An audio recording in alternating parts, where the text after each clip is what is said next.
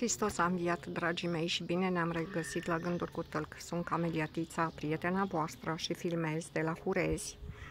un așezământ monahal aflat în județul Vâlcea. Dragii mei, tema de astăzi, ideea pe care vreau să vă transmit, este despre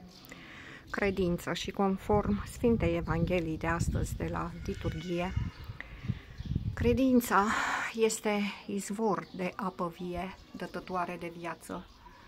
dătătoare de iertare, de speranță, curățitoare și precum viața nu poate exista fără apă,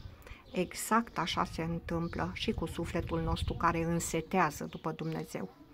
Doar adăpându-ne sufletul din izvorul vieții, al apei duhovnicești, al apei uh, credinței și al apei învierii Domnului nostru Isus Hristos, doar așa putem să fim vii, puternici, să mergem înainte cu nădejde, cu speranță, cu credință, pentru că în scrierile religioase apa simbolizează și curgerea Duhului Sfânt, Duhul Sfânt, fără de care n-am putea să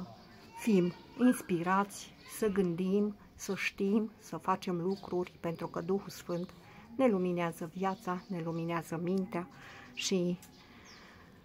ne face treji. Vă pup și să ne fie de folos!